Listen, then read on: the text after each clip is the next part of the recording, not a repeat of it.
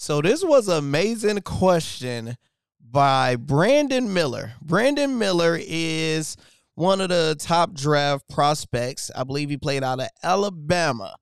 So he was asked this today and is going viral. What is your thoughts about it? So let's first listen to what he had to say. You said you were in black and red at the draft, right? Jordan wore black and red as a member of the Bulls. Here's my question, unrelated to that. You're young. Older people, young people often have this LeBron and Michael conversation. I'm not going to ask you who's the greatest because that's old. But because you've been in Michael's presence and because you grew up liking LeBron, as a young person, do you feel like that conversation is just overdone? No, because I, I actually don't uh, think LeBron is, you know, the go to basketball. I think my go to basketball is Paul George. And, you know, I always grew up watching him, so it's never just LeBron. That's it. So he said, sorry, sorry, somebody called me. He said, I don't think LeBron James is my GOAT. I grew up watching Paul George.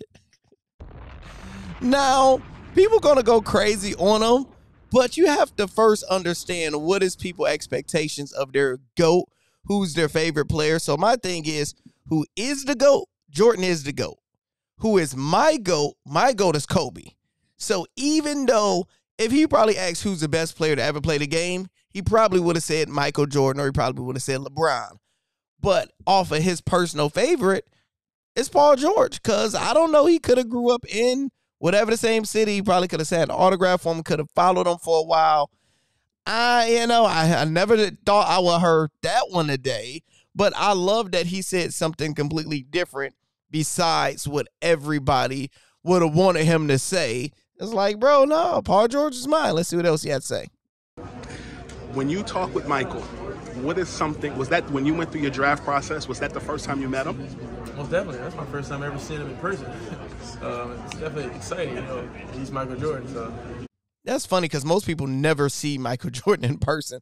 Let me know if any y'all ever seen Michael Jordan in person outside of a basketball game. Like, he's like a person we just don't really get to see. Uh, guy who jump from the free throw line, the shoes that we wear all the time.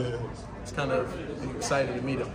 What is something that you took away from that as far as just meeting him that like some people say, wow, like he chews gum like this. Like what is something random that you, you picked up from him that, that you just will stick with you forever? Other than I seen him airball that free throw, yeah, that, that would be the only thing. I seen him airball free That's it.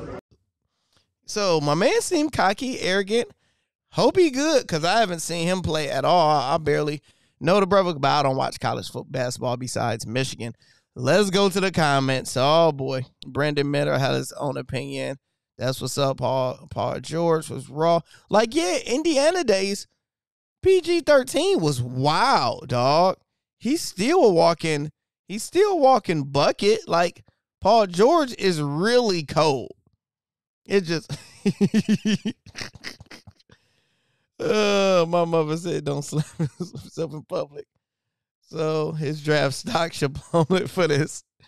It was never that deep. A lot of these players need to know the difference between their favorite and the GOAT. See, that's the difference. It's it's more of that's his favorite.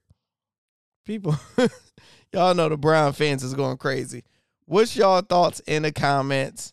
Who is? Let me know in the comments. Who is the greatest of all time, and in your opinion, and who is your personal favorite player? Let me know in the comments.